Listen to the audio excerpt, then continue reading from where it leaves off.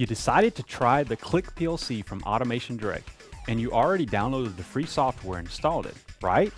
If not, go back to the previous tutorial to complete that step.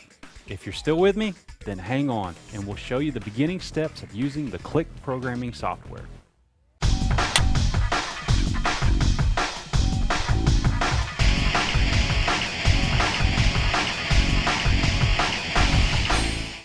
After installing the software, either go to Start, then Programs, and find the Click software as shown here.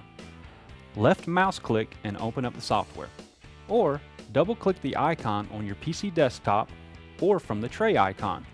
If you don't have an icon on your desktop or tray, that is because you elected not to create them when the software was installed. The Click software will start up as shown and will display the main window.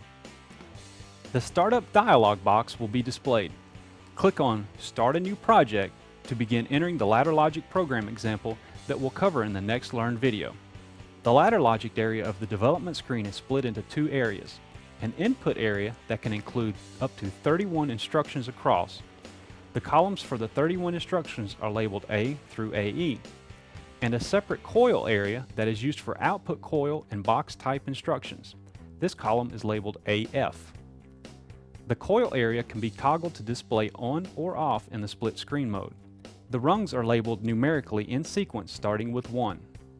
The main window is divided into menus, toolbars, and windows that work together to make project development as simple as possible. See the software's online help shown here for additional details. Thanks for watching, and we hope that you'll view more of our Learn videos.